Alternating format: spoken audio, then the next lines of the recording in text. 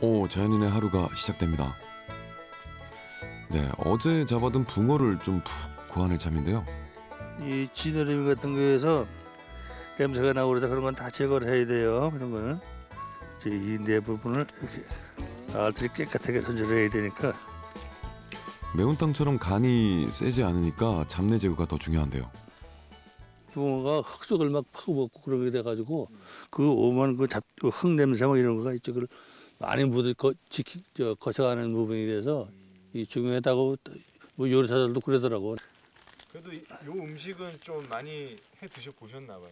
약자만 좀 그, 구에다 넣고 끓이는 시간 때문에 그렇지 다른 거에서 좀 쉬운 편이죠. 그러니까. 아이고 아, 아니 주무셨어요? 네. 아니 나, 하셨어요? 아이고 가만 있어 봐. 아니 이거 이걸 뭐 하시게요? 이거 붕어 즙을 한번 내 먹으려고. 잉어탕 그거 드신 그런 것처럼. 아 이번엔 붕어로요. 네. 주재료가 넣고. 들어가고 대파고 대파고 대추 아 많이 들어가네요. 네. 이제 여기 이제 이거 이건 뭐예요? 여기 여기 옆에 있는 엄나무야 이게. 엄나무요? 보시다시피 아셨어요? 여기 공해가 하나도 없어요 여기 네, 공해이기 네. 때문에 음, 씻을 게 하나도 없어요. 그냥 해도 이건 괜찮아.